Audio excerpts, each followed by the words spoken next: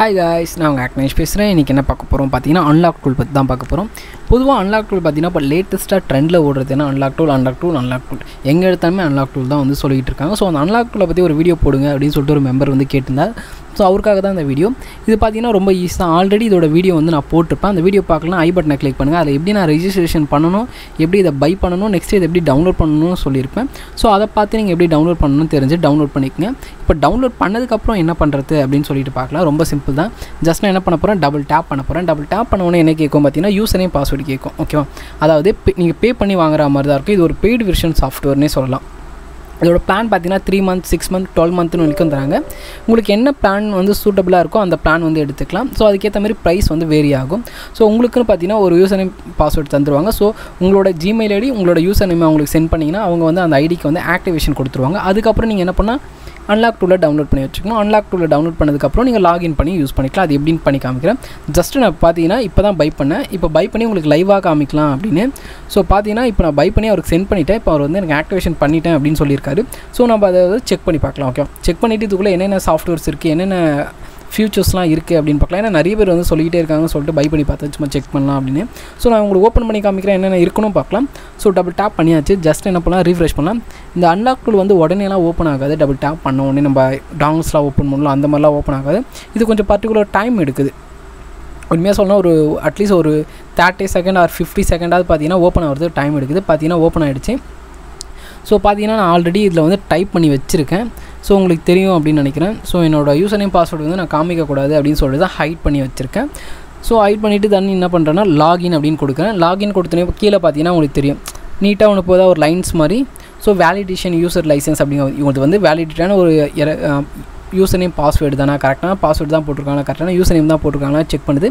Next வந்து எல்லாத்தையுமே install பண்ணுது. அந்த மாடல்ஸ்லாம் இருக்குது பார்த்தீங்களா ஜோமி மாடல்ஸ் ரெட்மி மாடல்ஸ் என்னென்ன மாடல்லாம் இருக்கோ அந்த மாடல்லாம் அது என்ன பண்ணுது? உள்ளே வந்து லோட் பண்ணிது ஏன்னா இது ஒரு ஆன்லைன் ப்ராசஸ் டூல் தான். சர்வர் பேஸ் தான் வேலை செய்யுது. ஸோ இது பார்த்தீங்கன்னா எல்லாமே ஆன்லைன் பேஸ்டு வேலை செய்யுதுனா திருப்பி மாடல்ஸ் எல்லாமே ப்ராசஸிங் ஆக கொஞ்சம் டைம் எடுக்கும். ஸோ இது பார்த்தீங்கன்னா கிளிக் பண்ணி ஓப்பன் ஆகிறதுக்கு எடுக்கிற டைம் பார்த்தீங்கன்னா மேக்ஸிமம் எனக்கு தெரிஞ்சு டூ மினிட்ஸாவது எடுக்குது ஓப்பன் ஆகிறதுக்கு ஸோ டப்புன்னு கிளிக் பண்ணி டப்புன்னு எடுக்கிற மாதிரிலாம் இது இல்லை. இது பர்டிகுலர் டைம் எடுத்துக்குது. உங்களோட இன்டர்நெட் ஸ்பீடு நெக்ஸ்ட் வந்து உங்களுக்கு கம்ப்யூட்டரோட ப்ராசஸ் பேஸ் பண்ணி பார்த்தீங்கன்னா குறைஞ்சபட்சம் ஒரு டூ மினிட்ஸ் எடுத்துக்குது தட்ஸ் மீன்ஸ் அது ஓப்பன் பண்ணி நீங்கள் யூசர் நேம் லாகின்லாம் பண்ணி அது மாடல்லாம் லோட் பண்ணி அது ஆன் ஆகிறதுக்கு பார்த்தீங்கன்னா ஒரு டூ மினிட்ஸ் எடுத்துக்குது. நெக்ஸ்ட் இதில் இருக்கிற அட்வான்டேஜ் டிஸ்அட்வான்டேஜ் என்ன அப்படின்னு பார்க்கலாம். அட்வான்டேஜ்னு பார்க்கும்போது மோஸ்ட் ஆஃப் மாடல் இதை வந்து பண்ணலாம். டிஸ்அட்வான்டேஜ் பார்க்கும்போது ஒரு கம்ப்யூட்டரில் இதை யூஸ் பண்ணிட்டீங்கன்னா நெக்ஸ்ட் வேறு கம்ப்யூட்டரில் யூஸ் பண்ண போகிறீங்க யூசர் நேம் லாகின் பண்ணி அப்படின்னு பார்த்தீங்கன்னா த்ரீ ஹவர்ஸ் கழிச்சு தான் பண்ண முடியும். ஓகே இது த்ரீ ஹவர்ஸ் ஆயிடுச்சா இல்லையான்னு எப்படி நான் செக் பண்ணுறதுன்னு பார்த்தீங்கன்னா கீழேயே வந்து அது காமிக்கும். த்ரீ ஹவர்ஸில் இன்னும் உங்களுக்கு எத்தனை நிமிஷம் வந்து ரிமைனிங் இருக்குது அப்படின்னு சொல்லிட்டு அதுவே காமிக்குது. அது ஒரு நல்ல விஷயம். இஷ்யூனே சொல்லலாம். ஸோ பார்த்தீங்கன்னா மாடல்ஸ்லாம் லோட் ஆகிட்டுருக்கு லினோவா நோக்கியா பிளாக்பெரி ஆண்ட்ராய்டு அப்படின்னு சொல்லிட்டு லோட் ஆகிட்டுருக்கு ஸோ நம்ம ஒன் பை ஒன்னாக பார்க்கலாம். அது என்னென்ன இருக்குது என்னென்ன ஃபியூச்சர்ஸ் வந்து கொடுத்துருக்காங்க அப்படின்னு. ஸோ பார்த்தீங்கன்னா ஓப்பன் ஆகிடுச்சு இன்னும் பார்த்தீங்கன்னா ஒரு டூ செகண்டில் பார்த்தீங்கன்னா உங்களுக்கு ஃபுல் விண்டோ வரும். பார்த்தீங்கன்னா வந் வந்துடுச்சு சொன்ன மாதிரி. ஸோ தென் வந்து பார்த்தீங்கன்னா நீங்கள் என்ன லேப்டாப் கனெக்ட் பண்ணியிருக்கீங்களோ அந்த லேப்டாப்போட நேம் வந்து இங்கே காமிக்கும். அதாவது ஷோ பண்ணும். தென் உங்களோட யூசர் நேம் வந்து இந்த இடத்துல வந்து காமிக்கும். தென் இந்த டைம் டேட் அது வந்து காமனாக காமிக்கிற மாதிரி காமிக்கும். ஃபஸ்ட் நம்ம எடுத்துக்கலாம். ஃபஸ்ட்டு பார்த்தீங்கன்னா எம்ஐ தான் ஃபஸ்ட் ஒன்று கொடுத்துருக்காங்க.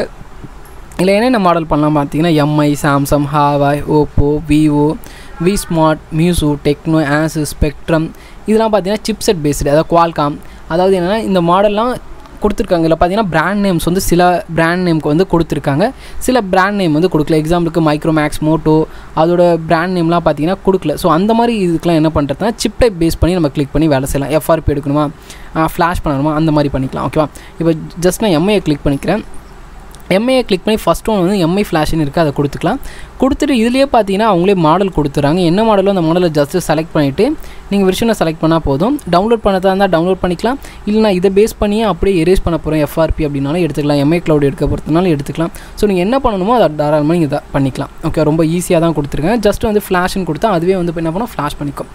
இப்போ சில பேர் கேட்கலாம் ஜி எனக்கு அப்பப்போ ஃபோனை வந்து ஓப்பன் பண்ணி ஈடிஎல் மோடில் போகிற மாதிரி இருக்குது சில கஸ்டமர் வந்து அலோவ் பண்ண மாட்டாங்க ஓப்பன் பண்ணவும் கஷ்டமாக இருக்குது அப்படி இருக்கிற பட்சத்தில் எப்படி பண்ணுறது அப்படின்னு கேட்டிங்கன்னா ரொம்ப சிம்பிள் தான்.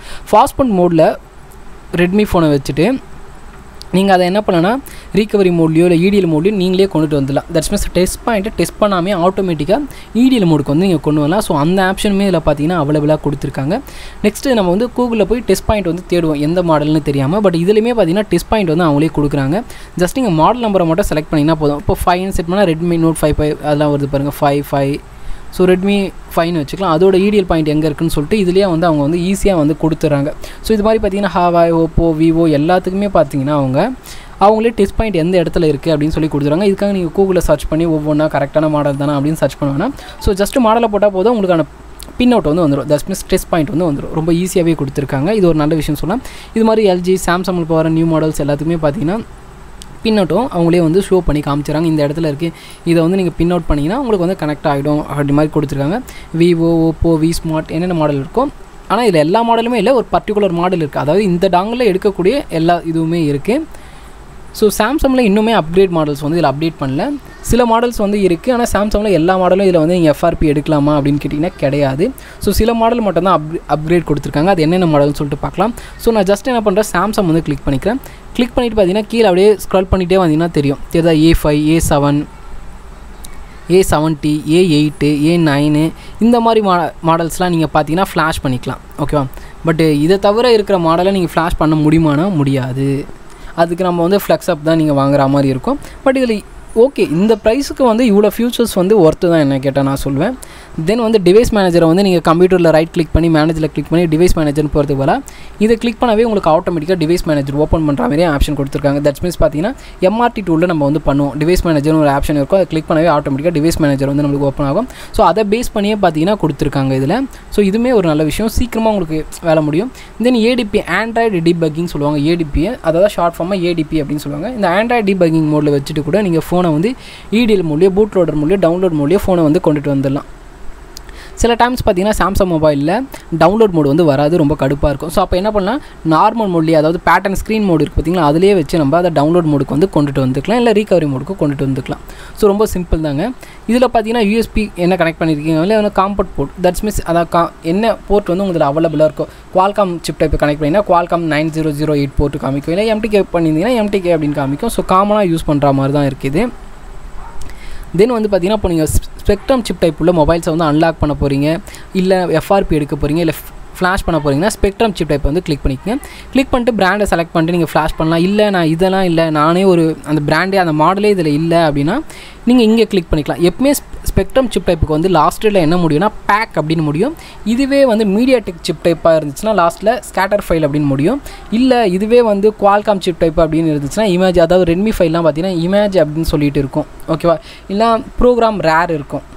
ஸோ அந்த ஃபார்மேட்டில் இருக்கும். ரேர் ஃபார்மேட்டில் இருக்கும். அப்படின்னா ரா ஃபார்மேட்டில் இருக்கும்.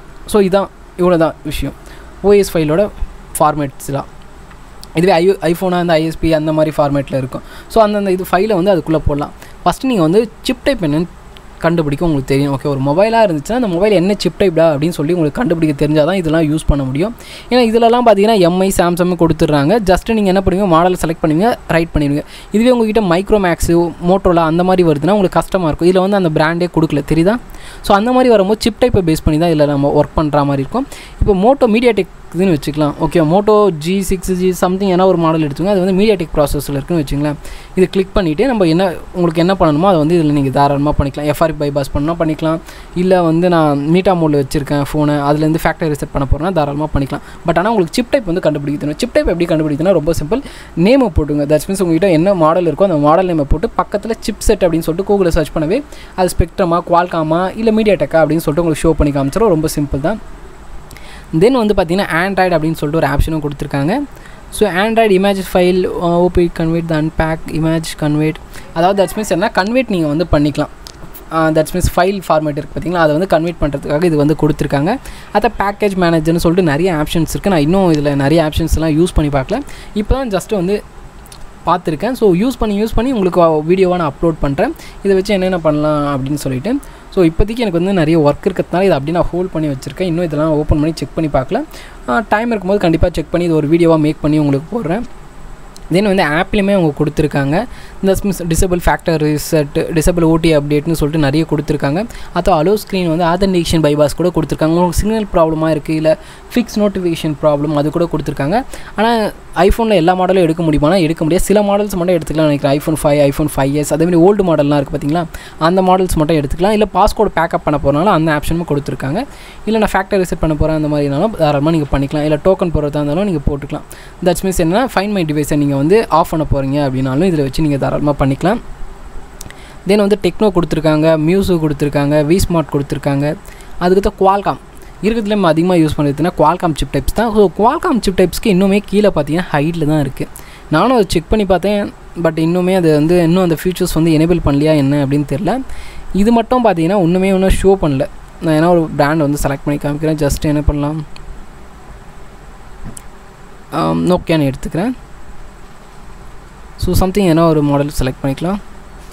ஓகே இப்போ பார்த்தீங்கன்னா நீங்கள் எரேஸ் எஃப்ஆர்பி பண்ணணும்னா எரேஸ் எஃப்ஆர்பி பண்ணிக்கலாம். இல்லை நான் ஃபேக்டர் ரிசெட் பண்ண போனால் ஃபேக்டர் ரிசெட் பண்ணிக்கலாம். இல்லை நான் ஃப்ளா ஃபோ ஃபார்மேட் ஸ்டோரேஜ் கொடுக்க போகிறேன்னா தாராளமாக நீங்கள் அதை கொடுத்துக்கலாம். ஓகேவா இதில் வந்து பார்த்தீங்கன்னா பர்டிகுலர் ஆப்ஷன்ஸ் மட்டும்தான் நீங்கள் என்ன மாடல் செலக்ட் பண்ணி அதை பேஸ் பண்ணி மட்டும்தான் இதில் பார்த்தீங்கன்னா பர்டிகுலர் ஃபீச்சர்ஸ் வந்து எனேபிள் ஆகுது. எல்லா ஃபீச்சர்ஸுமே இதில் வந்து யூஸ் பண்ண முடியல. ஹைட்டில் தான் இருக்குது அது ஏன் அப்படின்னு தெரில இப்போது வேறு மாடல் எடுத்திங்கன்னா வேறு உங்களுக்கு எஃப்ஆர்பி இந்த மூணு மட்டும் உங்களுக்கு பார்த்தீங்கன்னா எப்பவுமே ஷோவில் இருக்குது இதெல்லாம் பார்த்தீங்கன்னா இன்னுமே பார்த்தீங்கன்னா அப்படியே ஹைட்டில் தான் இருக்குது ஒரு வேளை ஃபிம்மேரை உள்ளே லோட் பண்ணதுக்கப்புறம் இதெல்லாம் எனேபிளாக ஆகலாம். வாய்ப்பு இருக்குது நான் இன்னும் லோட் பண்ணி பார்க்கல. லோட் பண்ணிவிட்டு உங்களுக்கு இன்னும் கிளியராக நான் எக்ஸ்ப்ளனேஷனாக கொடுக்குறேன். ஓகே இந்த இது வந்து நான் புதுசு இதுக்கு எனக்கு யூஸ் பண்ண தெரியல. எப்படி யூஸ் பண்ணுறதுனா மேலே ஒரு சிம்பிள் தந்திருக்காங்க பார்த்தீங்களா? அதை கிளிக் பண்ணால் வீடியோவாகவே அவங்க கொடுத்துருக்காங்க. இதை பார்த்தோம் நீங்கள் கந்து கற்றுக்கலாம் தட்ஸ் மீன்ஸ் ஏன்னா unlock boot loader boot loader எப்படி இந்த வச்சு அன்லாக் பண்ணுறது அப்படின்னு பார்த்துக்கலாம். போட்டிலோட திருப்பி ரீலாக் எப்படி பண்ணுறதுனோ பார்த்துக்கலாம் ஓப்போ மொபைல்ஸை எப்படி எரேஸ் ஐடி பண்ணுறதுனோ பார்த்துக்கலாம் இல்லை நான் விவோட ஐஎம்ஏ சேஞ்ச் பண்ண போகிறேன் அப்படின்னு இதை பார்த்துக்கலாம் ஸோ இதுலேயுமே அவங்க வந்து என்ன கொடுத்துருக்காங்க? அது மட்டும் இல்லாமல் யூடியூப்பில் இவங்களே அஃபிஷியலாக வீடியோஸும் போட்டிருக்காங்க. அன்லாக் டூவில் எப்படி யூஸ் பண்ணுறதுன்னு நீங்கள் அதை பார்த்தாலுமே உங்களுக்கு நாலேஜ் வந்து கெயின் ஆகும். ஸோ உங்களுக்கு ஆன்லைனில் அன்லாக் பண்ணி தரணும்னா கண்டிப்பாக சொல்லுங்கள் கண்டிப்பாக நான் ஆன்லைனில் அன்லாக் வந்து உங்களுக்கு பண்ணி தரேன். ரொம்ப கம்மியான ப்ரைஸ்லேயே அது மட்டும் இல்லாமல் சாஃப்ட்வேர் கோர்ஸில் நீங்கள் ஜாயின் பண்ணுற இன்ட்ரெஸ்ட் உங்களுக்கு இருந்தால் சொல்லுங்கள் கண்டிப்பாக உங்களை அதுலேயுமே நான் ஜாயின் பண்ணி உங்களை லேர்ன் பண்ண வைக்கிறேன். ஸோ ஓரளவுக்கு நான் சொன்ன வரைக்கும் உங்களுக்கு புரிஞ்சிருக்கும் அப்படின்னு நினைக்கிறேன். நெக்ஸ்ட் வீடியோவில் இதை யூஸ் பண்ணி உங்களுக்கு லைவாகவே நான் பண்ணி காமிக்கிறேன். இந்த வீடியோ பிடிச்சிருந்தா நீங்கள் பண்ண வேண்டியது ஒன்று இருந்தால் லைக் பண்ணுங்கள் ஷேர் பண்ணுங்கள் சப்ஸ்கிரைப் பண்ணுங்கள் மறக்காமல் பெல் ஐக்கனே கிளிக் பண்ணி வச்சுருங்க.